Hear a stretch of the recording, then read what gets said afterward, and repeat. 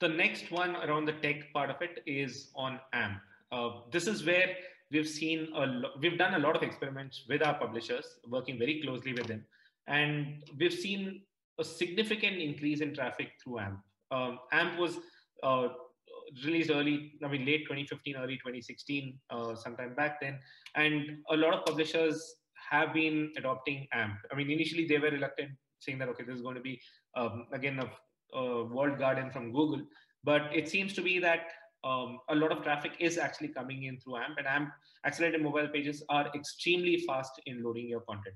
Most of our publishers, if you like to benchmark yourself, most of our large publishers, and there's a segment of publishers, um, get anywhere between 30 to 40 percent of their traffic from uh, on AMP pages itself. Right? Uh, it varies again. Smaller publishers may get lesser. Larger publishers, some of the larger publishers get over 40 percent traffic on AMP, but this is something that you should be striving to get at least about 30% of your traffic um, on accelerated mobile pages.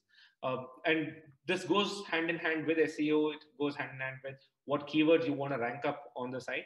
Um, and that's basically what we've seen um, works pretty well for a lot of publishers. So two experiments that we ran, the images on the left that you see.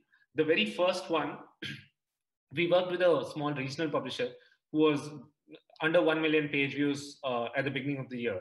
And what we built for them, uh, and this is something that's available on the Quintype platform for all our publishers now, is you have the ability to have site-wide AMP, uh, which we call an AMP first site, right? So or if you toggle this um, feature, by default, all your traffic which comes on mobile will be served the AMP page instead of your actual page, instead of your responsive page.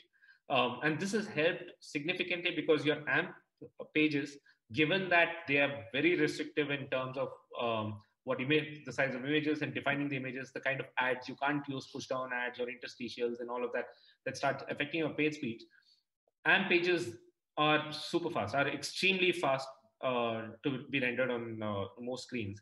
And we've seen just by toggling to AMP page, and this is a publisher that's even now continuing to serve all their mobile traffic on AMP, right? Uh, and they've seen their traffic grow about 3x, both in terms of uh, absolute page views as well as engagement.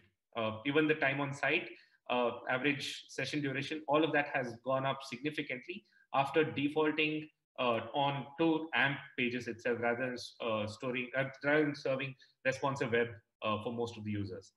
So this was one of the experiments we ran. Before I move on the other one, we are even seeing publishers push a little more on this and saying, why not make the entire site AMP itself? Why not make your homepage, section page, all your landing pages, author page, tag pages, all of them um, served as AMP, and AMP does support that right now.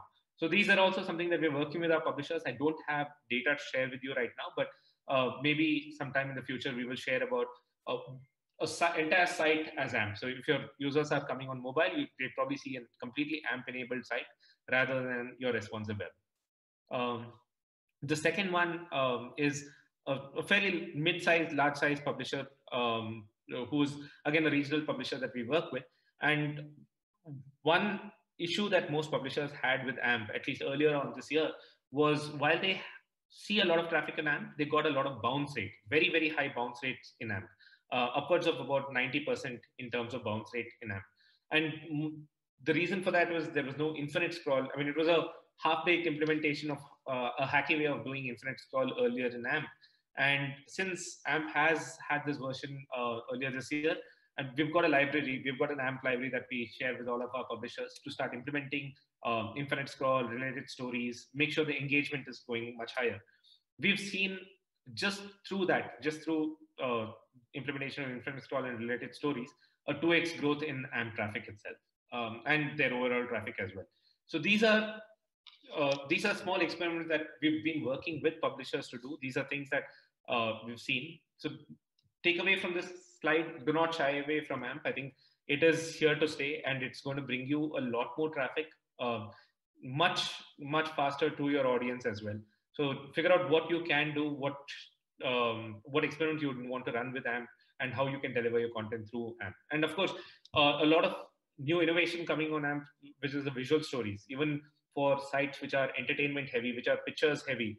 Uh, there are these uh, Instagram story kind of style visual stories on AMP, which is again being featured on Google Discover these days.